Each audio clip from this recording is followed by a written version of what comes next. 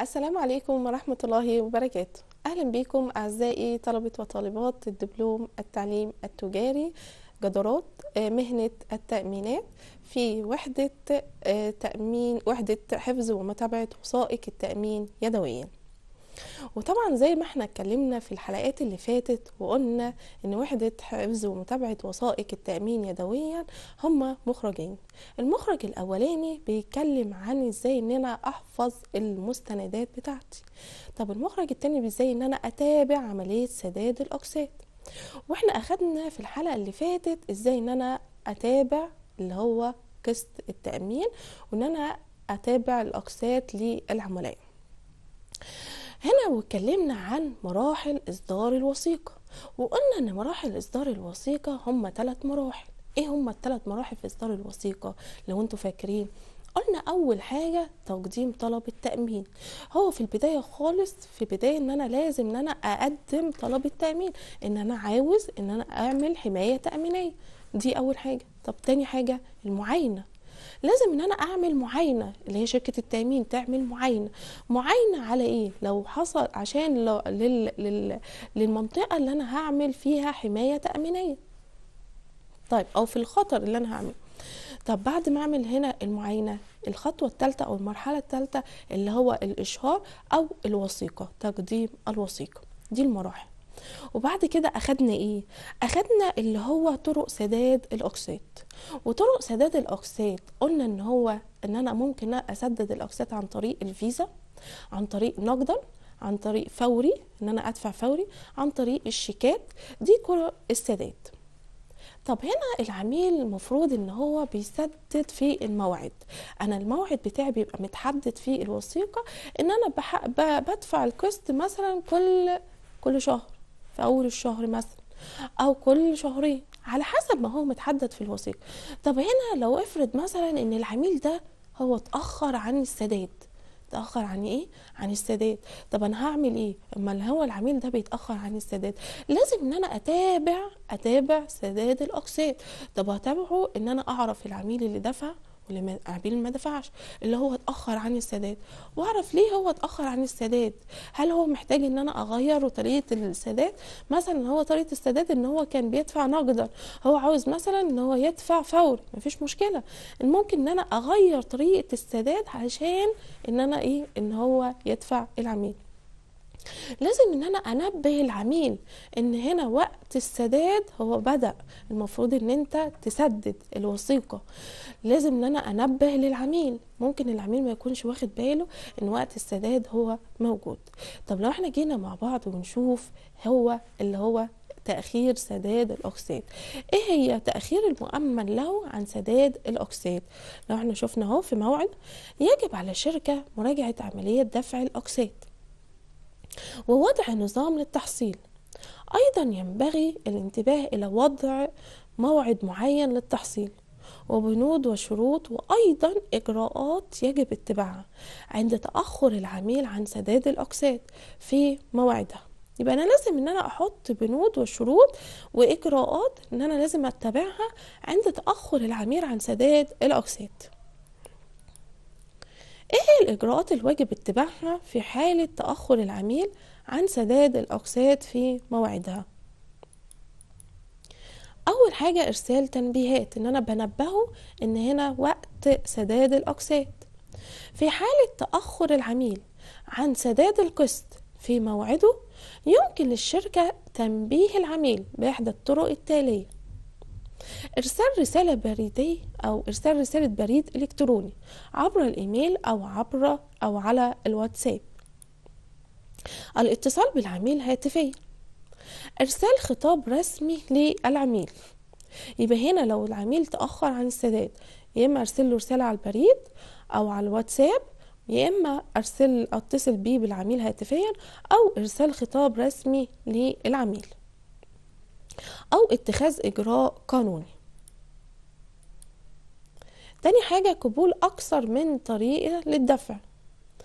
قد لا يرغب بعض العملاء في الدفع في الوقت المحدد لأن ظروفهم لا تسمح بذلك وربما لديهم مصاعب بشأن السيولة النقدية. يمكن بسهولة حل مشكلة هذه بعرض خطط دفع بديلة ومنها على سبيل المثال تقسيم الفاتورة الضخمة إلى ثلاثة أو أربع أقسام. يبقى هنا في تأخر للعميل. العميل لو هو تأخر عن السداد إيه هي الخطوات اللي أنا أبدأ إن أنا أشتغل عليها كشركة تأمين؟ أول حاجة لازم إن أنا أنبه العميل. إن أنا بنبه العميل يا إما أنبهه يا إما أبعت له بريد إلكتروني أو أبعت له رسالة على البريد أو على الواتساب. يا إما أتصل بيه تليفون. يا إما لو أنا ما اتصلتش بيه التليفون يا إما أعمل له أعمل إجراء قانوني. إجراء قانوني إن أنت ما عملتش ده أو ما ما دفعتش الاقساط ممكن إن أنا أعمل الإجراء القانوني. قبل ما أعمل الوثيقة لازم أحط بنود وشروط على تأخر العميل أو تأخر سداد الاقساط للعميل. علشان لو هو تأخر عن السداد لازم يدفع هنا قسط إضافي أو نسبة إضافية على التأخير. طيب يبقى هنا لازم إن أنا أنبه العميل باتصال تليفوني أو إن أنا أبعت له خطاب آه خطاب موصي ليه أو إن أنا أبعت له بريد إلكتروني أو على رسالة على البريد الإلكتروني أو على الواتساب. لو أنا نبهت أو ممكن إن أنا أختار له أي طريقة من الطرق ممكن هو ما يكونش عنده سيولة ممكن عاوز يعمل آه يبعت آه شيكات أو ممكن عاوز إن هو يقسط لأن هو مبلغ كبير جدا فهو عاوز يقسط القسط ده على دفعات. مفيش مشكلة على حسب هو العميل كان عاوز إيه أقدر إن أنا أساعده. دي بالنسبة لو العميل إيه تأخر عن السداد. طب تاني حاجة النقطة اللي بعد كده إيه أسباب طلب العميل نسخة من الوثيقة؟ ممكن العميل يطلب نسخة من الوثيقة وثيقة التأمين. طبعا هنا الوثيقة دي هي بتطلع نسخة واحدة بس في بداية التأمين. ما أقدرش إن أنا أطلع وثائق تاني. طب أنا بطلع إيه؟ ممكن أطلع نسخة إضافية أو نسخة طبق الأصل للوثيقة. أنا مش بعمل وثيقة جديدة أنا بعمل هنا نسخة آه صورة طبق الاصل ليه أنا بعمل هنا دي؟ يا اما لو حصل اللي هو آه خسارة أو حصل خطر ده لازم ان أنا اعمل له صورة طبق الاصل للوثيقة عشان يقدر ان هو ياخد التعويض بتاعه. يا اما ان الوثيقة دي ضاعت بالنسبة له آه ضاعت فبالنسبة له هو عاوز آه صورة طبق الاصل للوثيقة. تعالوا مع بعض نشوف إيه أسباب طلب العميل النسخة من الوثيقة. هنا مبدئيا لا يمكن استخراج أصل جديد من وثيقة التأمين ولكن في بعض الحالات يمكن استخراج بدل فائت أو صورة طبق الأصل من الوثيقة في الحالات الآتية. فقدان العميل لأصل الوثيقة لأي سبب من الأسباب. إن هو فقد الوثيقة ضاعت بالنسبة له. تاني حاجة حدوث الحادث المؤمن ضده. وفي هذه الحالة يستخرج صورة طبق الأصل لقسم التعويضات لاتخاذ اللازم. وفي هذا الأمر ينتج بعض الالتزامات على المؤمن له. يبقى هنا ليه أسباب طلب العميل لنسخة من وثيقة التأمين. زي ما إحنا اتفقنا إن وثيقة التأمين هي بتطلع مرة واحدة بس لا يجوز استخراج وثيقة تاني. طب طب هيطلع ليه وثيقة تانية؟ أو هستخرج وثيقة تانية؟ أنا مش بستخرج وثيقة. أنا بعمل صورة طبق الاصل نتيجة لإيه؟ أو إيه الأسباب اللي العميل بيطلب وثيقة تانية؟ أول حاجة إن هو فقد الوثيقة. الوثيقة ضاعت بالنسبة له. فهو ممكن ياخد صورة طبق الأصل مش بطلع صورة إيه؟ مش بطلع وثيقة أصلية. لا أنا بطلع صورة طبق الأصل يا إما إن هو الحادث حصل خطر الخطر ده حدث فلازم إن هو يطلع صورة طبق الاصل علشان التعويضات ولازم إن المؤمن له عنده التزامات لازم يقوم بيها. الالتزامات اللي هو بيقوم بيها إن المؤمن له لازم يبقى عنده التزامات يقوم بيها أثناء حدوث الحادث ده. طب إيه هي الالتزامات؟ الالتزامات أول حاجة لازم إن أنا أبلغ الشرطة. تاني حاجة لازم إن أنا أبلغ شركة التأمين. تالت حاجة إن أنا لازم أبلغ شركة التأمين بالمحضر برقم المحضر اللي أنا عملته. وآخر حاجة لازم لو في أي مستحقات أو أي حاجة لازم إن أنا أكون معايا أو لو حصل حادث للممتلكات لازم إن أنا أحافظ على الجزء المتبقي اللي هو ما حصلش فيه خسارة. ولازم إن أنا أحتفظ بالمستندات الموجودة لو إيه لو حصل خسارة لازم إن أنا أحتفظ بالجزء ده. يبقى هنا تعالوا مع بعض نشوف الجزء اللي بعد كده اللي هي التزامات المؤمن له في حالة وقوع حادث. زي ما إحنا قلنا ليه التزامات؟ إن أنا لازم إن أنا أخطر الشركة فورا بالحادث بقدر الإمكان. وفي خلال مدة معقولة أو وفق لما هو محدد بالوثيقة. وتعزيز ذلك كتابة وأن يسمح الممثل الشركة بإجراء المعاينة اللازمة. يبقى انت لازم ان انت اول ما يحصل حادث لازم ان انت تبلغ شركة التأمين. ولازم ان انت عشان تبلغ شركة التأمين لازم تكون محدد في الوثيقة الوقت المناسب ليه علشان ان انت تسمح للممثل الشركة بإجراء المعاينة اللازمة. تاني حاجة اختار الشرطة فورا بقدر الإمكان وفي خلال مدة معقولة أو وفقا لما هو محدد بالوثيقة. تالت حاجة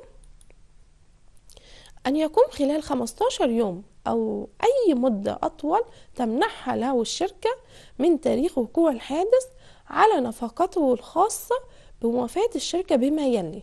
لازم هنا الشركة عطياله 15 يوم أو أي مدة الشركة تمنحه إن هنا في تاريخ وقوع الحادث على نفقته الخاصة. بموافاة الشركة إيه بقى؟ أول حاجة كشفا مفصلا. بمحتويات المكان. موضوع التأمين قبل الحادث وقيمته مؤيدة بالمستندات. لازم يدي محتويات المكان موضوع التأمين قبل الحادث ولازم تكون مؤيدة بمستندات مش كلام وخلاص. كشف منفصلا أو دقيقا مفصلا ودقيقا بالخسائر أو الأضرار التي نشأت عن الحادث وقيمتها وقت الحادث. مؤيدة بالفواتير والمستندات دون إضافة أي ربح. بيان مفصلا لجميع التأمينات الأخرى التي تكون قد أبرمت على الأشياء موضوع التأمين بمعرفته أو بمعرفة المستفيد. إن وجد لو في أي تأمينات تاني لازم شركة التأمين تبقى عارفة. يبقى هنا زي ما إحنا قلنا اللي هي التزامات المؤمن له عند وقوع الحادث.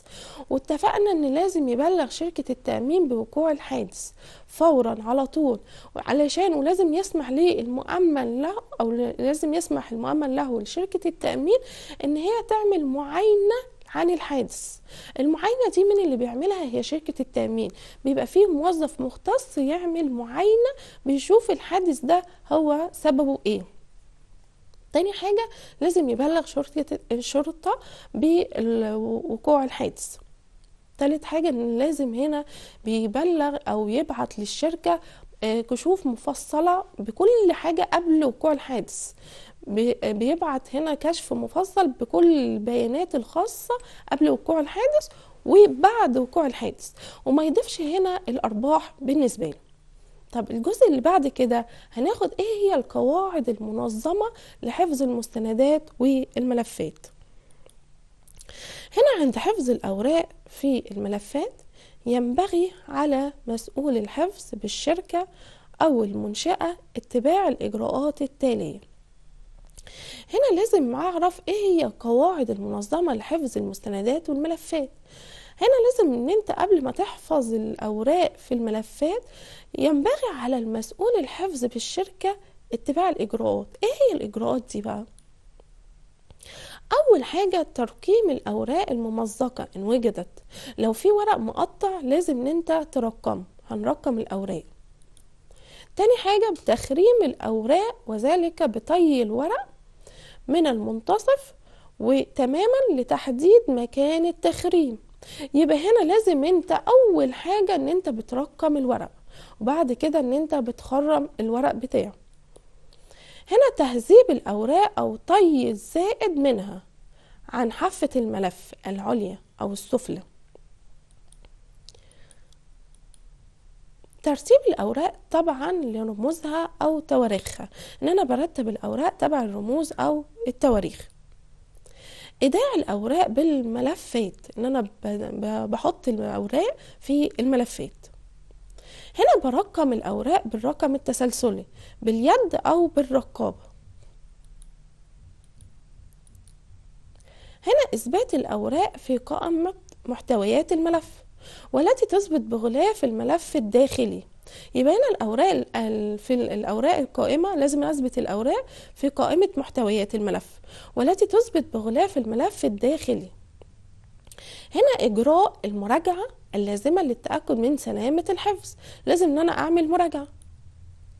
هبدأ إن أنا أحفظ الملفات في الأوعية وإن كانت الأرفف أو أدراج أو الدواليب. لازم أحفظ الملفات دي في أوعية وإن كانت دي موجودة فين؟ في الأرفف أو أدراج أو الدواليب. يبقى إحنا كده عرفنا إيه هي الإجراءات إن أنا بحفظ في الملف. لازم أول حاجة في حفظ الملف إن أنت بترقم الأوراق أو بتبدأ إن أنت ترتبهم بتسلسلهم. ولو هنا في الملف بتاعي أو الورق بتاعي فيه متمزق لازم إن أنا أبدأ إن أنا أرقمه وأبدأ إن أنا أصلح فيه الممزق ده. طيب افرض مثلا الورقة دي كبيرة عن الورق التاني أبدأ إن أنا أتنيه أساويه مع الورق أو المستندات الموجودة في الملف. أبدأ إن أنا أخرم المستند بتاعي. طب أنا هخرمه إزاي؟ لو أنا الورقة دي بالنسبة لي أهو لو أنا عملتها كده عشان أبدأ إن أنا أخرم الورقة فأنا ببدأ إن أنا أتنيها كده زي ما إحنا تانيينها كده وأبدأ أحط هنا خلاص أنا عرفت هو بين النصين النصين أهو هبدأ إن أنا أحط الخرامة عشان أبدأ إن أنا أخرم الورق بتاعي. فدي اسمها إن أنا بطوي الورق علشان أقدر إن أنا أعمل أخرم الورق بتاعي أو المستند بتاعي عشان أقدر أحطه في الملف بتاعي. فلازم إن أنا بتنيه كده وأعمله في النص وأبدأ إن أنا أدخل الخرامة علشان أبدأ إن أنا أخرم في المستندات بتاعي. طب بعد كده بعد ما أنا عملت اللي هو إن أنا خرمت الورق وحطيته في الملفات لازم إن أنا أتأكد لو الورق ده كبير عن أو المستند فيه ورقة كبيرة عن المستندات التانية أبدأ إن أنا آه، أطويها أو أتنيها علشان تبقى متساوية مع زي المستندات الموجودة. لازم إن أنا أرتبهم على حسب التواريخ أو على حسب الحروف على حسب أنت أنت قلت هترتبهم إزاي. بعد ما انت رتبتهم لازم ان انت تعمل مراجعة.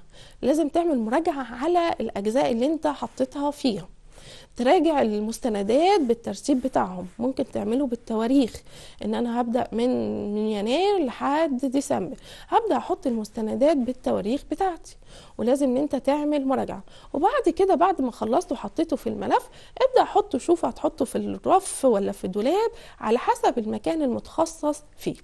ده اللي هو حفظ المستندات أو حفظ الورق الخاص بيه.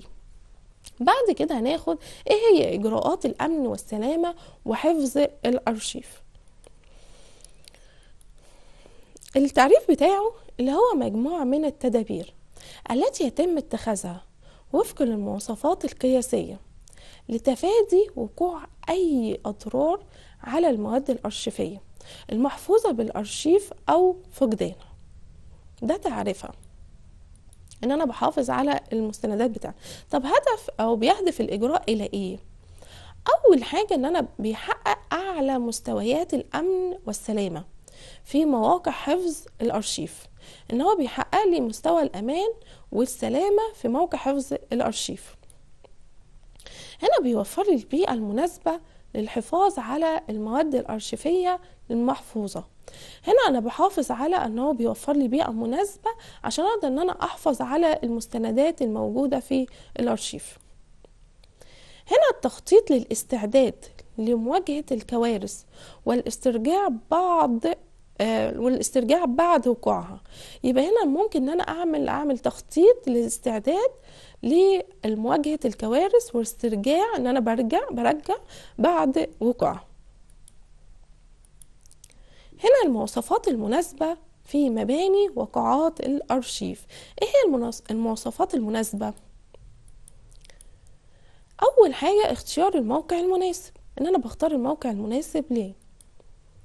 عشان أقدر إن أنا أحفظ فيه المستندات تاني حاجة تصميم المخازن ومواقع تخزين الأرشيف حسب مواصفات الأمن والسلامة وتفادي استخدام المواد الضارة والخطيرة فيها مثل الكهرباء وقنوات المياه.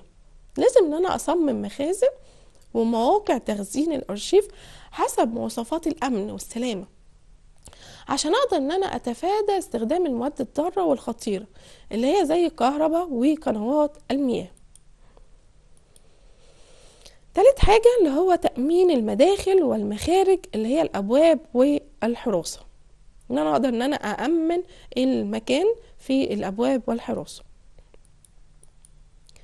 اختيار وتركيب التجهيزات المناسبة لتصفيف الأرشيف اللي هو رفف حديدية. إن أنا أعمل رفف إيه؟ حديدية. إن أنا بوفر المناخ المناسب اللي هي درجات الحرارة ونسبة الرطوبة. لازم يبقى فيه توفير مناخ مناسب اللي هي درجة الحرارة تكون مناسبة ونسبة الرطوبة ما تكونش عالية بالنسبة له هنا تركيب نظام تكييف هوائي. إن أنا بركب نظام تكييف هوائي في الغرفة موجود علشان أقدر إن أنا بحافظ على المستندات الموجودة عندي. توفير فتحات للتهوية الطبيعية للمخازن عند الحاجة. لازم يبقى عندي فتحات للتهوية الطبيعية للمخازن عند الحاجة. أوفر أو توفير نظام الكشف المبكر. عن الحريق ونظام الإطفاء التلقائي للنار. لازم يبقى عندي نظام الكشف المبكر. الكشف المبكر ده يبقى فيه نظام معين كده بيتخصص علشان لو حصل أي حريق أبدأ إن هو بيبدأ إن هو يفتح اللي هو الفتحات بتاعته عشان يطفي الحريق. أو ان هو يكتشف بالحريق لو أنتوا بتبقوا موجودين في مصانع أو في أو في فنادق أو في أي مصلحة حكومية لو سمعتوا جرس جرس كده يبقى بيحصل إيه؟ إن هو بيقولك إن في حريق مثلا هيحصل أو في دخان فبتسمع صوت الصفاره كده فده بينبهك على إن في حريق هيحصل. فلازم إن أنت كل شوية بتتأكد إن النظام أو بتكشف على النظام اللي هو الخاص بالكشف المبكر على الحريق لازم إن أنت تتأكد إن هو شغال وكل شوية لازم إن أنت تشوفه إن هو صالح يقدر إن إحنا نشتغل عليه ولا لأ. عشان لو حصل أي حريق أبدأ إن هو يحذرني أو يقول إن في حريق أو في دخان طالع في المكان الفلاني أقدر إن أنا أستخدمه أو إن أنا أقدر إن أنا ألحق الحريق قبل ما هو يحصل حريق. طب النقطة اللي بعد كده اللي هو التخطيط وتنفيذ عملية المراقبة الدورية. لازم إن أنا زي ما إحنا قلنا إن أنا لازم إن أنا أخطط وراقب. أنا مش بحط المستندات دي ما أنا ببقى المستندات دي مهمة جدا. لازم إن أنا أكون مأمن عليها ولازم كل شوية إن أنا بتابعها وبراجع عليه المستندات الموجودة في في حجرة اللي هي الأرشفة. زي هنا اهو ما بيقول لك إن هو التخطيط وتنفيذ عملية المراقبة الدورية لمعدات وأجهزة الحفظ والأمن والسلامة في مواقع الأرشفة. لازم إن أنا أتبع وراجع اللي هم الأمن الخاص بيا وأبدأ أشوف اللي هنا النظام بتاعي شغال ولا لأ. النقطة اللي بعد كده وضع نظام مكافحة الحشرات والكوارث. لازم خلي بالكم من إن أنا عندي المستندات دي لازم إن أنا أشوف أشوف النظام للحشرات. علشان ممكن الحشرات دي أو الحيوانات دي ممكن تاكل المستندات. فلازم يكون عندي نظام أو وضع نظام خاص لإن أنا بمكافحه اللي هو الحشرات. والكوارث والتنظيف الدوري للمخازن. إن أنا لازم إن أنا أنظف المخازن أو الأرشفة ده لازم إن أنا أنظفه على طول لأن هنا المستندات دي مهمة جدا. زي ما إحنا اتفقنا. النقطة اللي بعد كده طبعا زي ما إحنا قلنا أهو إن أنا بعمل الأرشفة بتاعتي لازم إن أنا أحافظ عليها ولازم أحط قواعد ليا إن أنا بحافظ على المستندات الخاصة بيه. هنيجي بعد كده اللي هو إيه إعداد خطة الاستعداد ومواجهة الكوارث. إن أنا بحط خطة لمواجهة الكوارث عشان لو حصل أي كارثة لازم يكون عندي خطة إن أنا أواجه الكوارث دي. طب إيه هي الخطة دي؟ تعالوا نشوف مع بعض. أول حاجة أهو إشعار وإعلام الموظفين بالإجراءات الاستعجالية. اللازمة لاتخاذ في حالة الطوارئ. يبقى أنا لازم هنا أعلم الموظفين بالإجراءات اللازمة لاتخاذها في حالة الطوارئ. طب وتاني حاجة؟ لازم إن أنا أحدد قائمة المسؤولين والمناطق الحساسة من خلال الخرائط والمباني والإنشاءات والتجهيزات التقنية. إن أنا لازم المسؤولين يكونوا بحدد المسؤولين بيحددوا المناطق الحساسة من خلال اللي يبقى فيه خريطة وفيه في الإنشاءات والتجهيزات التقنية لازم هنا بحدد التجهيزات والأدوات والموارد البشرية اللي هي قائمة الخبراء وفرق التدخل في حالة الطوارئ رابع حاجة إن أنا بحدد الأولويات للتفاعل والتدخل لمواجهة الكوارث. لازم إيه الأولوية عشان التفاعل والتداخل لمواجهة الكوارث؟ لإنقاذ الأرشيف المتضرر عشان أقدر إن أنا أنقذ أو لمواجهة الكوارث. طبعا بحط برنامج لتدريب الموظفين على كيفية التفاعل مع الكوارث. إن أنا بحط نظام للموظفين إزاي إن هم يتعاملوا بالكوارث لو أنتوا لاحظتوا عندكم في المدارس بيبقى في نظام كده إن هو بيعودك لو حصل أي كارثة أنت بتنزل إزاي أو طريقة نزولك على السلم. بيبقى في جرس بيضرب فالجرس ده بينبهك إن في كارثة في حريق في أي حاجة. فأنت بتبدأ إن أنت بتتدرب على إزاي تنزل أو بتنزل على السلالم إزاي. زي ما بيحصل عندك في المدرسة هو بيحصل في أي منشأة موجودة في ملفات لازم يدرب الموظفين على طريقة لمواجهة الكوارث. إزاي إن هو يتعامل معاها؟ لو حصل أي كارثة إزاي إن هو يعملها أو يتعامل معاها؟ طب النقطة اللي بعد كده اللي هي واجبات موظف الأرشيف. طبعا هنا موظف الأرشيف ليه واجبات. إيه هي واجباته؟ يجب على الأرشيف بعد تعيينه أن يقوم بأول عمل أرشيفي إعداد كردا لكل المجموعات الأرشيفية المحفوظة في قسم الأرشيف ليتمكن من القيام بهذه المهمة. في البداية خالص اللي هي واجبات الأرشيف لازم أول حاجة أول ما يمسك اللي هو الأرشيف ده أول حاجة يعمل إيه؟ اللي هو المراجعة والكارت المراجعة والإيه؟ والكارت طيب تاني حاجة ثم يقوم بكرد كل المجموعات الأرشيفية حسب تسلسلها. يبقى هنا لازم إن أنا أعمل جرد لكل المجموعات على حسب تسلسلها التوبوغرافي. اللي هي إيه؟ قاع بعد قاع ورف بعد رف وطاولة بعد طاولة وبيسجل حتى الرفوف الشاغلة.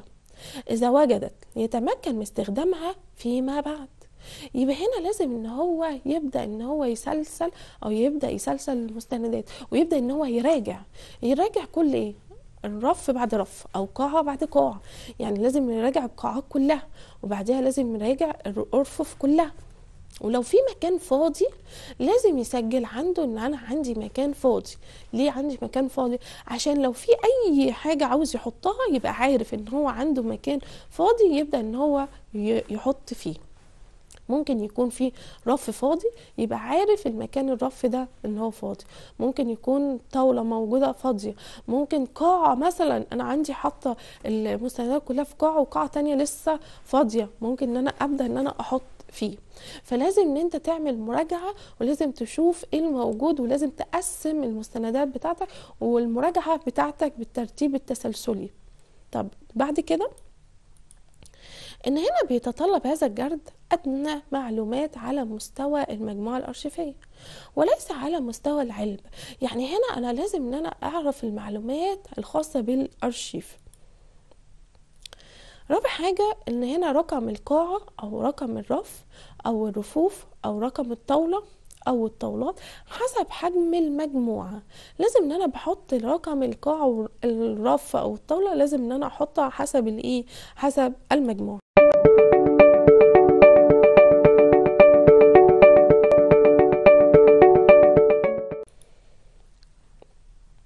هنا وضع الأرشيف منظم غير منظم. مبعثر متراكم فوق الأرض على حسب وضع الأرشيف. الأرشيف بالنسبة لي هو منظم ولا غير منظم؟ هو مبعثر ولا متراكم؟ هو فوق الأرض ولا إيه؟ لازم إن أنت تعمل وضع للأرشيف. هنا أدوات البحث. إذا وجدت عادة جدول تحويل الأرشيف من الإضالة الأصلية اللي هي أدوات البحث اللي هي اللي عادة اللي هو جدول تحويل الإيه؟ الأرشيف. هنا تمانية اللي هو النقطة اللي بعد كده اللي هي ملاحظة الأرشيف. وضع قاعة الأرشيف اللي هو الظروف الأمنية الحرارة الرطوبة الحماية ضد الحريق أو الفيضان أو الحشرات أو النظافة العامة لازم إن أنت تبقى ملاحظ الأرشيف. تلاحظ الأرشيف إيه؟ من كل حاجة. هل هنا الأرشيف ده أو المكان المخصص لحفظ المستندات هو نظيف؟ آه لازم تشوف فيه مكافح للحشرات عشان مثلا لو في فيضان أو حريق في حماية ضد الحريق والفيضان. آه النقطة اللي بعد كده أهمية الأرشيف.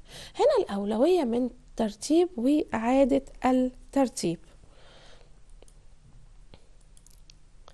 هنا طبعا آه، خدنا في من بداية الحلقة إزاي إن أنت العميل بتاعك لو هو أخر عن سداد الاكسيد فإزاي إن أنت تتعامل معاه؟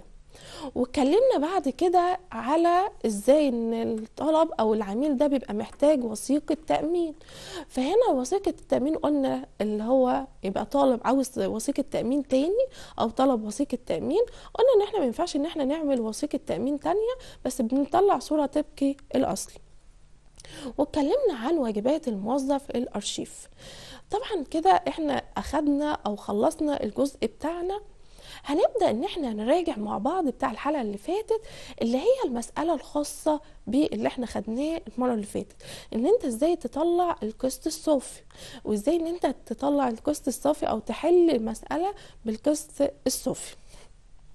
وزي ما إحنا اتفقنا اللي إحنا خدناه في الحلقة اللي فاتت بس إحنا عاملين مراجعة ليها. طب لو إحنا شفنا مع بعض مثال ليه وازاي ان إحنا نطلع القسط الصافي ونحل بالقسط الصافي؟ لو إحنا شفنا اهو احسب القسط الوحيد الصافي الذي يدفعه شخص عمره 25 سنة. لأحد شركات التأمين أو لأحد شركات التأمين على الحياة. حتى تدفع له مبلغ اللي هو 200 ألف جنيه. إذا صلى على قيد الحياة حتى تمام العمر كام؟ العمر ستين. علما بأن ده السي ده الستين هي أربعة آلاف خمسمية تلاتة وعشرين. وده الخمسة وعشرين هو ألفي آه،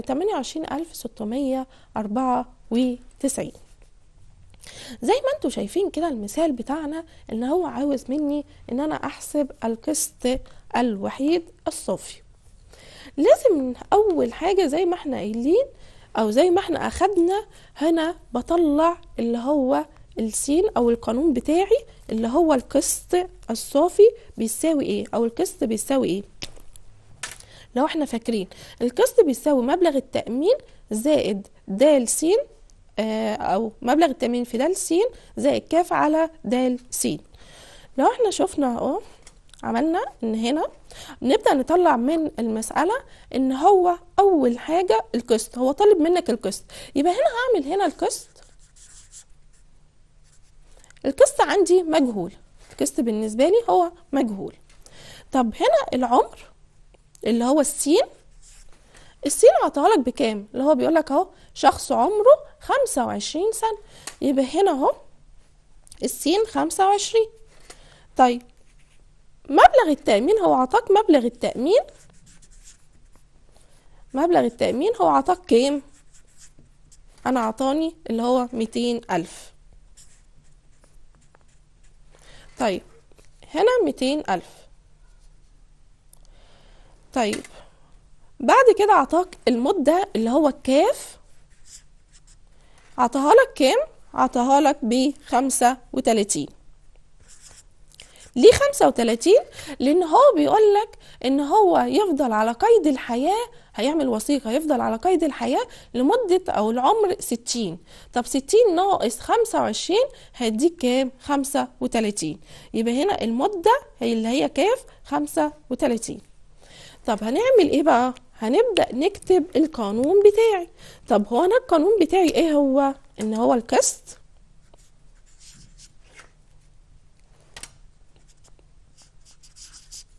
بيساوي مبلغ التأمين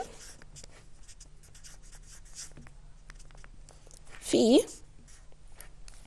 د س زائد كاف على د س ده القسط بتاعي اللي إحنا حافظينه. طبعا هنا القسط هو طبعا هو مش عطيهولك فهننزله زي ما إحنا عارفين. اهو القسط بيساوي على مبلغ التأمين كام؟ مبلغ التأمين زي ما إحنا أهو قايل لنا اللي هو ميتين ألف. يبقى هنا ميتين ألف في د س طب أنا د س دي هجيبها منين؟ هنا أهو هكتب اللي د السين هعطيها لك بكام؟ بخمسة وعشرين. يبقى د خمسة وعشرين. زائد. الكاف هو الكاف هعطيها لك بكام؟ بخمسة وتلاتين. اهو خمسة وتلاتين. على اللي هو د السين. السين عطاها لك بكام؟ بخمسة وعشرين. يبقى د خمسة وعشرين. بعد كده هنعمل إيه؟ هنعمل إن القسط بيساوي اللي هو ميتين ألف في ده الخمسة وعشرين زائد خمسة وتلاتين يبقى ده الكام؟ يبقى ده الستين يبقى هنا القسط.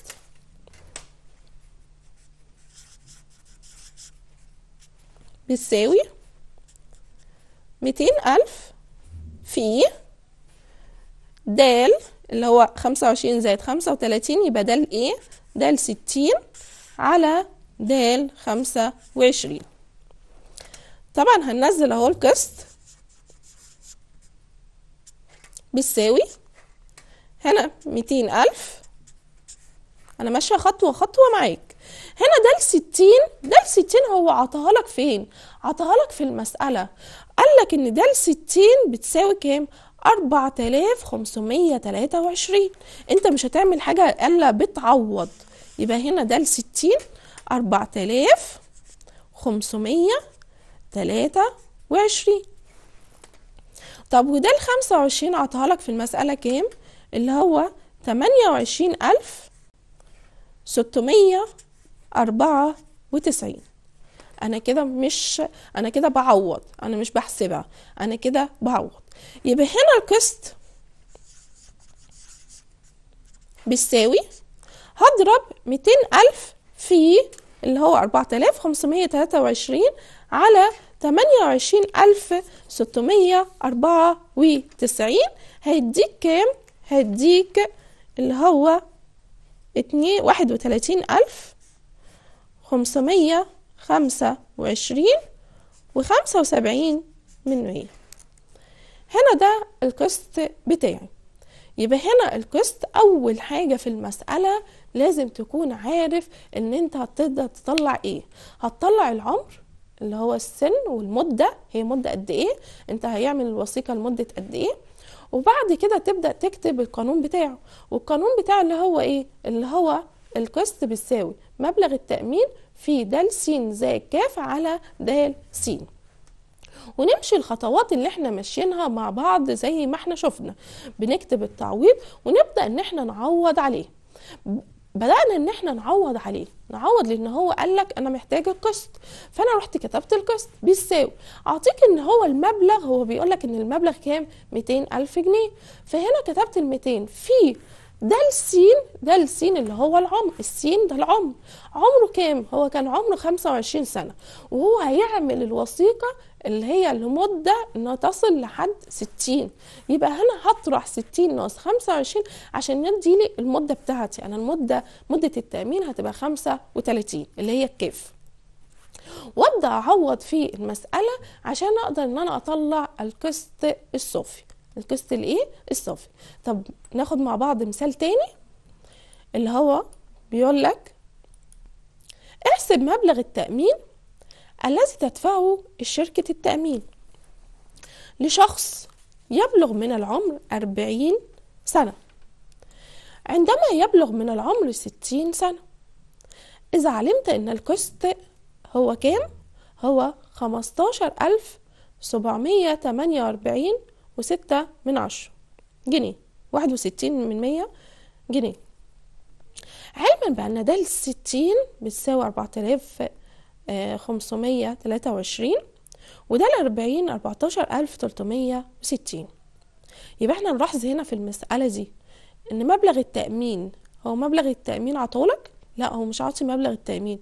أمال هو عطى إيه؟ عطى القسط المسألة اللي فاتت كان عطى اللي هو عاطي مبلغ التأمين وعاوز القسط.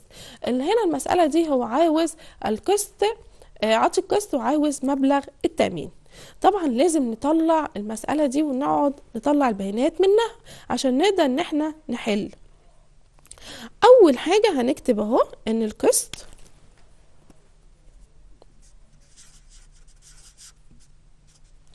عطاها لك بكام؟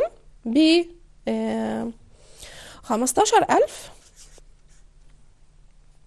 خمستاشر ألف سبعمية تمانية وأربعين وواحد وستين. ده القسط. طيب بعد القسط هيديني اللي هو السين اللي هو العمر. طب هو عمره كام؟ قال لك إن العمر بتاعه اللي هو أربعين يبقى هنا سين أربعين.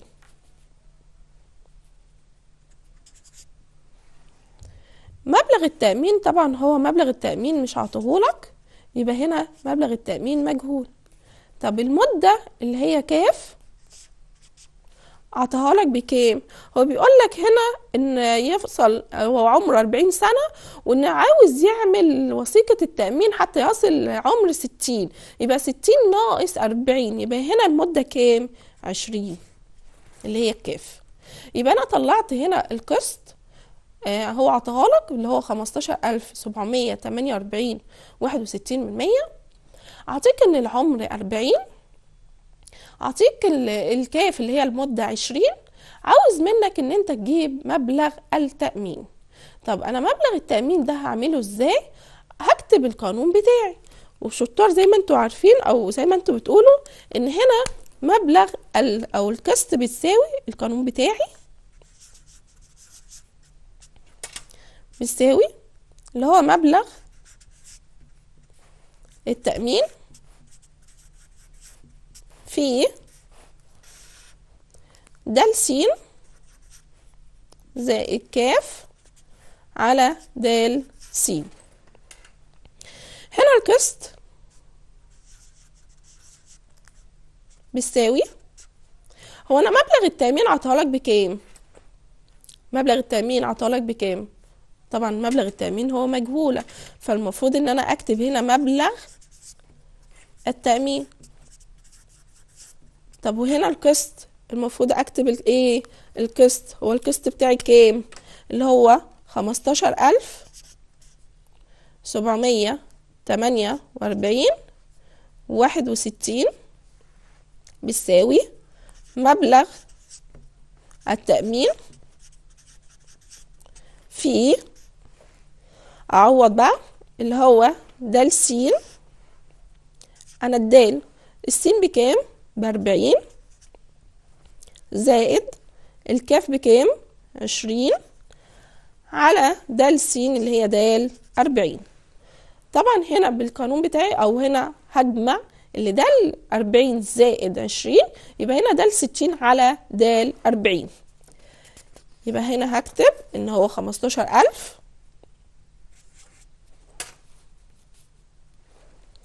خمستاشر ألف سبعمية تمانية وأربعين وواحد وستين بتساوي مبلغ التأمين في دال ستين على دال أربعين. هبدأ أنزل أهو الرقم التاني اللي هو القسط خمستاشر ألف سبعمية تمانية وأربعين واحد وستين بتساوي مبلغ التأمين هيفضل نازل بردك زي ما هو. في هو أنا دام ستين عطاها لك بكام في المسألة؟ هو عطاك أربعة آلاف خمسمية تلاتة وعشرين أربعة آلاف خمسمية تلاتة وعشرين على ده الأربعين عطاها لك بأربعتاشر ألف تلتمية وستين. طبعا أنا عاوز هنا مبلغ التأمين. عاوز مبلغ التأمين أنا يطلع بره بس قبل ما أطلع بره هنا مبلغ التأمين ده أنا عاوز أطلعه بره هنا علشان أجيب هنا الرقم ده عشان أضربهم في بعض. يبقى هنا بالنسبة لي أهو يبقى مبلغ التأمين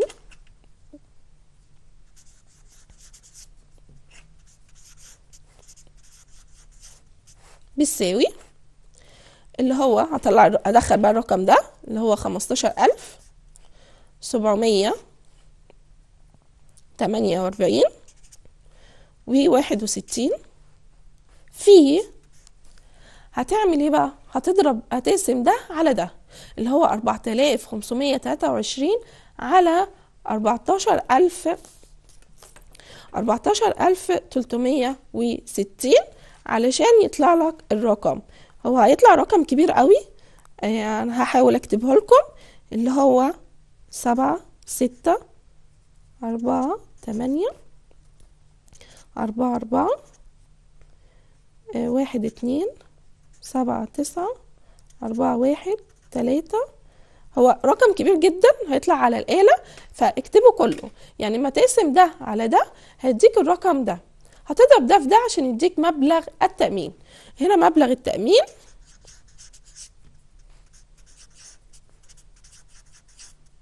بيساوي هضرب ده في ده هيديك اللي هو أربعة آلاف تسعمية وستين وسبعة وتلاتين من مية.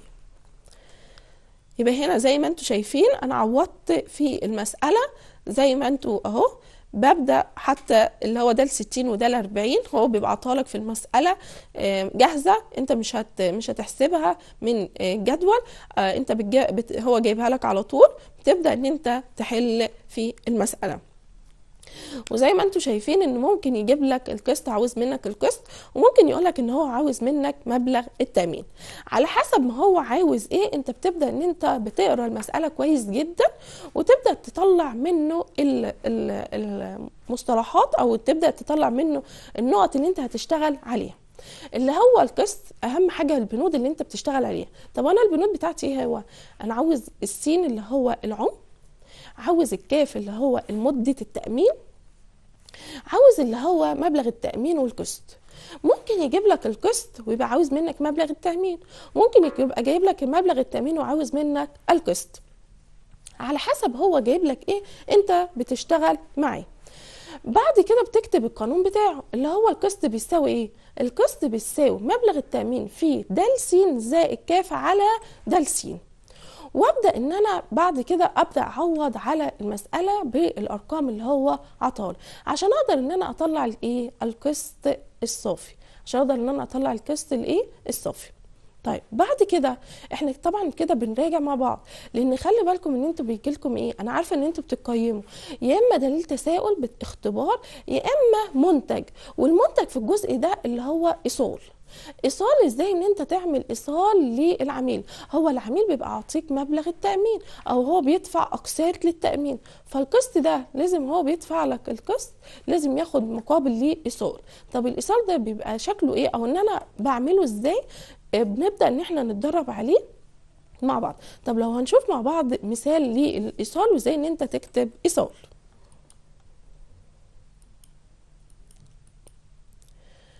هنا سدد المؤمن عليه حازم محمد محمود عبد الحميد. مبلغ خمس تلاف جنيه بالفيزا كارت مقابل قسط التأمين على الحياة الصادر بالوثيقة. رقم ألفين خمسمية تلاتة وعشرين. وذلك بمقر الشركة بالقاهرة. وتسلم إيصال بذلك رقم أربع تسعات. من المحصل إسلام أو أسامة إبراهيم توفيق إسماعيل. بتاريخ واحد واحد عشرين اتنين وعشرين. وعنوان المؤمن عليه خمستاشر شارع طلعت حرب القاهرة. وكان السداد خاص بشهر ديسمبر عشرين واحد وعشرين. يبقى أنت لازم تعرف هنا أنا عندي المؤمن عليه هو مين؟ اسمه إيه؟ اسمه حازم محمد محمود عبد الحميد. هنا مبلغه كام؟ خمس تلاف جنيه. بالفيزا كارت مقابل قسط التأمين على الحياة. يبقى أنا هسدد بإيه؟ بفيزا. مقابل قسط التأمين على الحياة الصادر بالوثيقة. رقم الوثيقة أو ال- ال- الإيصال هيبقى برقم كام؟ هنا أو الوثيقة رقم كام؟ 2523 بمقر شركة القاهرة وهنا الإيصال بتسليم إيصال رقم الإيصال رقمه كام؟ أربع تسعات. من المحصل مين المحصل مين اللي بياخد منه القسط؟ اسمه أسامة إبراهيم توفيق إسماعيل. بتاريخ كام؟ واحد واحد عشرين اتنين وعشرين. وعنوان المؤمن عليه العنوان بتاعه كان اللي هو 15 شارع طلعت حرب اللي هو المؤمن اللي هو آه، 15 شارع طلعت حرب القاهرة. والهنا السداد بشهر ديسمبر 2021 طب لو إحنا شفنا الشكل ال- الإيصال أول حاجة هنا إيصال قسط تأمين على الحياة. اسمه اللي هو اسم مين؟ آه اسم حازم محمد محمود عبد الحميد. لازم أكتبه الاسم الرباعي. طب العنوان؟ هو عنوانه كام؟ اللي هو 15 شارع طلعت حرب القاهرة. زي ما هو عاطيني هو عاطيني الاسم وعنوانه.